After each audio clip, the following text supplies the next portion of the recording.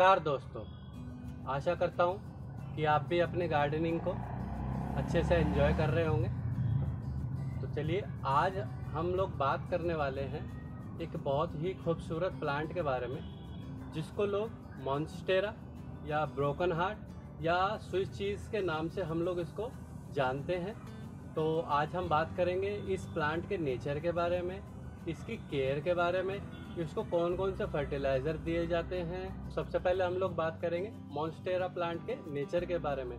देखिए, ये एक ट्रॉपिकल रेन फॉरेस्ट में पाए जाने वाला प्लांट होता है।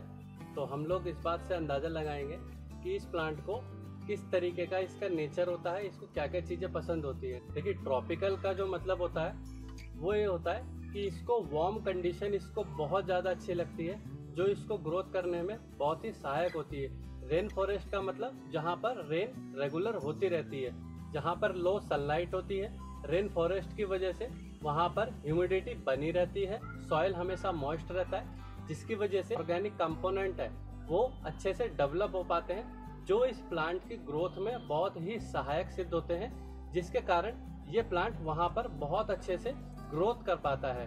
अब हम बात करेंगे इसके केयर के बारे में। देखिए, ये ट्रॉपिकल रेन फॉरेस्ट में पाया जाता है। तो इसके कारण इसको बहुत ही मीडियम लाइट मिल पाती है। तो हम लोग इसको अपने इंडोर में भी यूज़ कर सकते हैं ताकि इसकी ग्रोथ अच्छे से हो पाए। इसको हम लोग डायरेक्ट या इनडायरेक्ट सनलाइट दे सकते हैं। डायरेक्ट सनलाइट इसको हम लोग इवनिंग की जो सनलाइट होती है, हम लोग इसको वो प्रोवाइड करते हैं। इसको ह्यूमिडिटी पसंद है, क्योंकि ट्रॉपिकल रेन फॉरेस्ट में हमेशा ह्यूमिडिटी बनी रहती है। तो लगभग 30 डिग्री से 35 डिग्री के आसपास का टेम्परेचर इस प्लांट के लिए बड़ा ही आइडियल टेम्परेचर होता है, जिसमें इसकी ग्रोथ बहुत अच्छी होती है।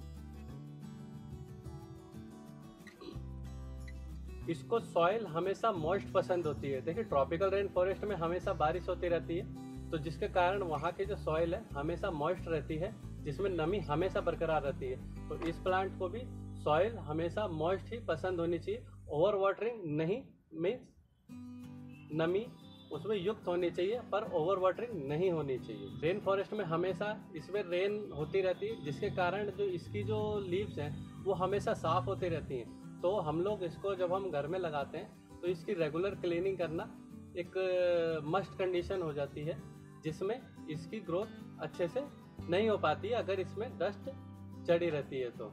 हम लोग बात करेंगे इसकी प्रोपोगेशन के बारे में। देखिए इसकी प्रोपोगेशन हम इसकी कट एक कटिंग लेकर हम लोग उसको, चाहे तो वाटर में इसको प्रोपोगेट कर सकते हैं, या फिर हम लोग इसको डायरेक्ट सॉयल में भी लगा सकते हैं। दोनों ही तरीकों से इसकी जो प्रोपोगेशन है, वो इजीली हो जाती है वाटर प्रोपोगेशन में। लगभग 15 से 20 दिन में इसमें नई शूटिंग इसमें आ जाती है, अच्छे से रूट डेवलप हो जाती है। तब हम लोग उसके बाद में इस प्लांट को निकाल कर किसी भी पॉटिंग मिक्स के अंदर इसको हम लोग इसको शिफ्ट कर देते हैं ताकि इसकी ग्रोथ अच्छे से हो पाए। जिस तरीके से हमें भी खाने की ज़रूरत होती है, इस तरीके से इन प्लांट्स को भी अच्छे से न्यूट्रिएंट की रिक्वायरमेंट होती है। देखिए रेन फॉरेस्ट में हमारे जो ये प्लांट हमेशा ट्री के ऊपर चढ़ जाते हैं तो जो ट्री की जो बार्क होती है, उससे ये लोग अपने फ़ूड को वहाँ से लेते रहते हैं। इसमें जो इसकी एरियल रूट होती है एरियल रूट से ये लोग अपने प्लांट में अपने फ़ूड की पूर्ति करते रहते हैं और घर पे जनरली हम लोग इसमें मॉस स्टिक यूज़ करते हैं ताकि इसके फ़ूड की सप्लाई रेगुलर बनी रहे। और हम लोग इसमें लिक्विड फर्टिलाइज़र, जैसे बनाना पील फर्टिलाइज़र है, या मस्टर्ड केक को हम लोग डाइल्यूट करके हम लोग इसमें दे सकते हैं, या किचन कंपोस्ट को हम लोग, जो उसका वेस्ट निकलता है, वो लिक्विड को डाइल्यूट करके हम लोग इसमें दे सकते हैं, ताकि इसके फ़ूड की पूर्ति हमेशा बनी रहे और हमारा प्लांट अच्छे से ग्रोथ करता रहे। अब हम लोग बात करने वाले हैं इसमें प्रॉब्लम्स की। तो इसमें प्रॉब्लम सिर्फ़ दो ही कारणों से हो सकती हैं। या तो इसमें ओवर वाटरिंग हो जाएगी, या इसमें अंडर वाटरिंग हो जाएगी। देखिए, इसमें अंडर वाटरिंग में इसकी जो लीव्स हैं, वो येल्लो हो जाती हैं। येल्लो या ब्राउन हो जाती हैं, जिसके कारण वो पत्तियाँ खराब हो जाती हैं और हमारा प्लांट डेड स्थिति में आने की कंडीशन में आ जाता है। और दूसरी जो इसमें कंडीशन होती है, वो होती है ओवर वाटरिंग की वजह से। ओवर वाटरिंग से इस प्लांट की जो लीव्स हैं, वो येल्लो हो जाती हैं। जिसके कारण प्लांट के गलने के चांसेस ज़्यादा बढ़ जाते हैं। तो मैं उम्मीद करता हूँ कि आपको कुछ जानकारी मिली होगी अपने मॉन्स्टेरा ब्रोकन हार्ट या स्विस चीज़ प्लांट के बारे में।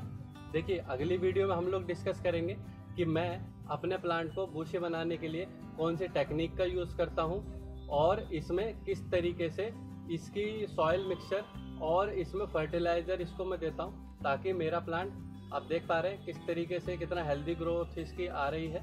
तो नेक्स्ट वीडियो में हम लोग डिस्कस करेंगे कि मैं अपने प्लांट को मल्टीप्लाई करने के लिए कौन से टेक्निक को यूज़ करता हूँ। आशा करता हूँ कि आपको अपने मॉन्स्टेरा ब्रोकन हार्ट प्लांट के बारे में कुछ जानकारी मिली होगी। अगर जानकारी अच्छे लगे तो चैनल को लाइक करें शेयर करें सब्सक्राइब करें। तो मिलते हैं फिर किसी अन्य वीडियो में, किसी अन्य जानकारी के साथ में। नमस्कार।